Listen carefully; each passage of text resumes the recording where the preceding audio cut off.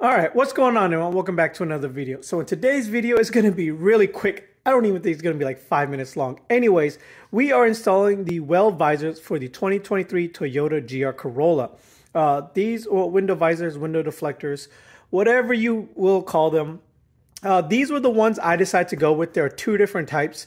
Uh, there's this one that kind of sits flush uh, along the door, and then there's another set, a different company that where like if you like install it, it kind of goes pops out, curves, pops back down. And it gives it that like more bubbly look, but it just looks incomplete because like it leaves this weird gap between the front and rear door. That's not something I like.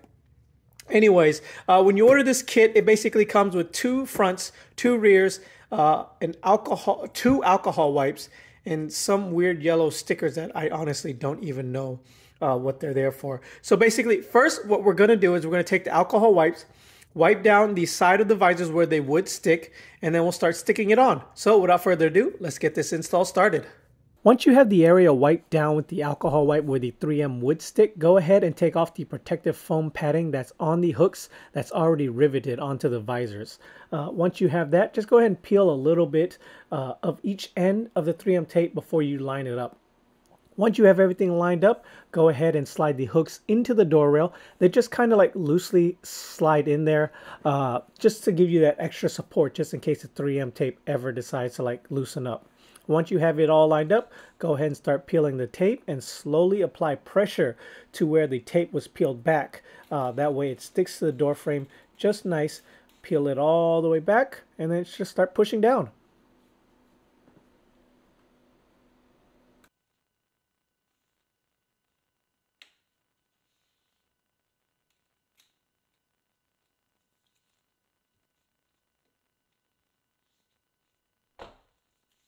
And then so for the front section, exact same process. Go ahead and take off the foam padding that is protecting the hooks. Uh, peel back each end of the tape that's on the front and the rear. Line up the door hooks on where they would slide into the door rails. Uh, once that in, just kind of like snugly uh, or loosely hang it just like the back and then uh, start to line it up and apply pressure where you need to apply pressure.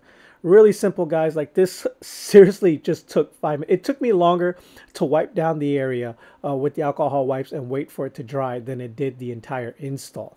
Uh, but yeah, guys, this was really quick, really easy. I'm going to go ahead finish this up right here, uh, and then I'm going to pull it out, park it into the sunlight, and let you guys get a whole view of how it looks on the car.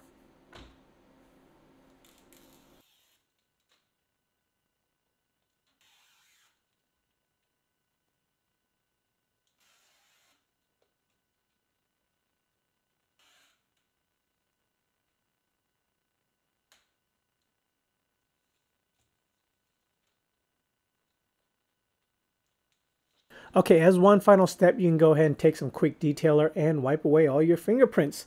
Uh, really quick, really easy, just something to get, you know, obviously you've been touching it, trying to apply pressure to make it stick down. But yeah, guys, let's go and pull this out into the sunlight. Okay guys, so here it is. It has taken me literally a week and a half to film this outro video because it has been raining nonstop here. Uh, so I was normally going to go and film it where I normally film my outdoor videos, but you know, my driver is going to have to do this time. Hopefully you can get a wide enough view. This is how it looks on the car and I think they look fantastic.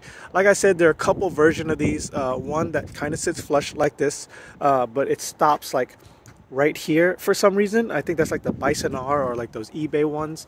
Uh, and then you have those other ones that kind of like bulge out a lot more and doesn't really flow with the body line. So I think in my opinion, uh, these are your best bet if this is the overall look that you like. Uh, and yeah, guys, what do you guys think? I think it looks phenomenal. Uh, I think it's definitely worth the money, 60 bucks. I mean, short of being like OEM Toyotas, I think these are the closest match to what you can get for that. So I got these mainly for a couple reasons. Uh, uh, one of them is to leave my windows cracked without being visibly cracked uh, to prevent anybody from like just stopping by and throwing stuff in or trying to reach in.